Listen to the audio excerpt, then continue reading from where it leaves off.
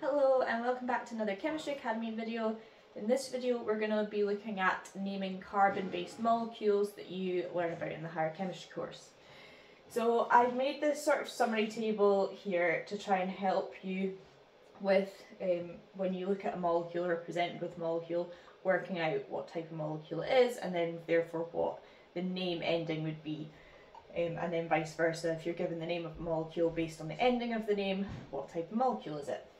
So these are all the common functional groups that are within the organic or carbon-based molecules that we tend to come across. Um, here we've got the type of molecule that they all are and then what their name ending will be. The ester is slightly different because it's got like a two-part name, and um, so it's something yl, something anoate. But hopefully this summary table will help you when it comes to naming and identifying types of molecules. Um, I'm not going to go through it because it's pretty self-explanatory, so we're just going to get started on naming some molecules.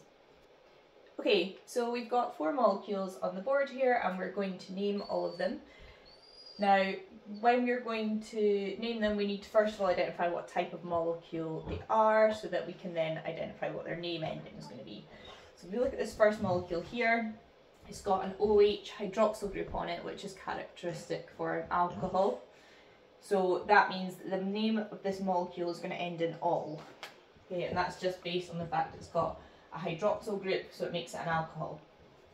Now, what we need to do is find the longest chain of carbons. So we've got one, two, three, four, or one, two, three, four. So the maximum number we can get is four, so I'm just going to pick this one here.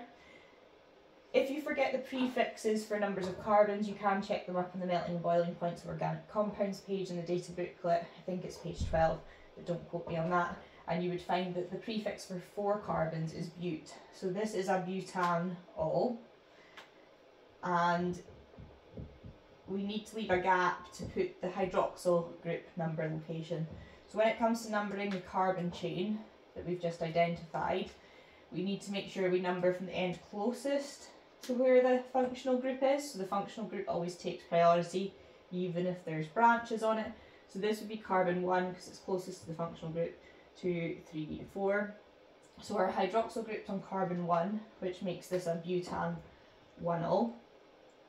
And now we've got this methyl group here that we need to add in to the name. So it is a methyl group because it's got one carbon in it. So it would be methyl butan 1-ol and then we need to add in the number location for the branch and it's on carbon 3. We can't renumber the chain so I know that we oh, always want to try and get the lowest number possible but once you've numbered for the functional group that takes priority you can't just switch it around and start numbering from the other side again just to get a lower branch number. So if the branch number ends up higher because of where the functional group is, that's fine. So it will be 3-methyl butan 1-ol for that molecule. This molecule here, the functional group on it is a carboxyl group, which is characteristic for a carboxylic acid, which means the name ending would be anoic acid. Okay, so now we just need to work out the prefix for the longest chain of carbons. So we can do 1, 2, 3, or 1, 2, 3, or 1, 2, 3, always check in L-shaped directions. The longest chain of carbons has to include the functional group as well as the other thing, so it had to has to contain this carboxyl group. So uh, if we just pick this middle one again as our longest chain of three, so the prefix for three carbons is prop, so this is a propanoic acid.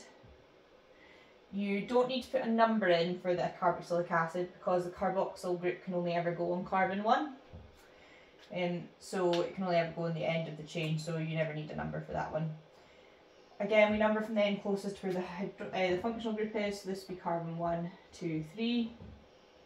And this time we've got two methyl groups here. Now they are separate, which is why the, drawing the circles around them helps, helps you see that they are separate branches. So both of them are methyl branches because they've got one carbon, but because we've got two of them, we need to put a di in front of the methyl, because di means two. So we've got dimethyl propanoic acid. and now we need the number location for both of the branches. So even though they're both on carbon 2, we need to write the number 2 twice because we don't want any ambiguity. We don't want people not knowing that they're both on carbon 2. So 2,2-dimethyl propanoic acid would be the name for this one. We go down to our third molecule down here. So the functional group this time is a carbonyl, not to be confused with a carboxyl, which has got the OH here. This is a carbonyl, and it's a carbonyl at the end of a carbon chain, which means it's this molecule is an aldehyde. Molecules that are aldehydes have name endings al. So again, we find the longest chain of carbons, including the functional group. So 1, 2, 3, 4, 5, 1, 2, 3, 4, 5, 1, 2, 3. So the longest chain we can get is a 5. So I'll just pick this straight chain of 5, it's the easiest one. The prefix for 5 carbons is pent. And so it'd be a pentanal. And because for an aldehyde the functional group's always at the end of the chain, because that's what makes it an aldehyde, is the carbonyl groups at the end, you don't ever need a number. Okay, so for aldehydes and carboxylic acids you don't need the number for the functional group location. So if we number the carbon chain closest to where the functional group is, 1, 2, 3, 4 and 5, then again we've got two methyl groups so it would still be, it would be dimethyl again for the two methyl groups. However, they're not on the same numbers um, as each other this time. So this time our numbers would be 2 and 4 because this one's on carbon 2, this one's on carbon 4. So it would be 2, comma 4 dash dimethyl pentanal. And then the last one we're going to do here.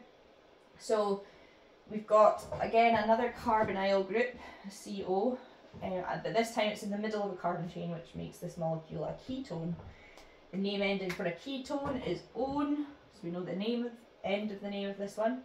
If we find the longest chain of carbons, now most people would go one, two, three, four, five, but like I said, don't forget to check an L shape. So there's actually a carbon down here that's connected, but it's just drawn in a different way rather than straight across. So that's actually got a longest chain of one, two, three, four, five, six. So that carbon there is actually also included in the longest chain. Okay.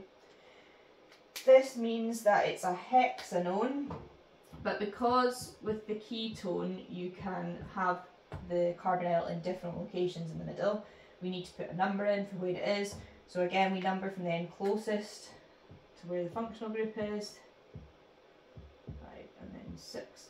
So this is a hexane 2 We don't have any carbon branches this time because this one that looked like it was a branch to start with is actually in the longest carbon chain. So that's all those molecules named. So hopefully by looking at what type of molecule it is first, identifying the functional group that's in it, that'll give you the name ending and then you just follow the systematic naming rules from then on um, based on the longest chain of carbons and then how many branches there are and where the branches are. So that's my top tips for naming organic molecules for the higher chemistry course.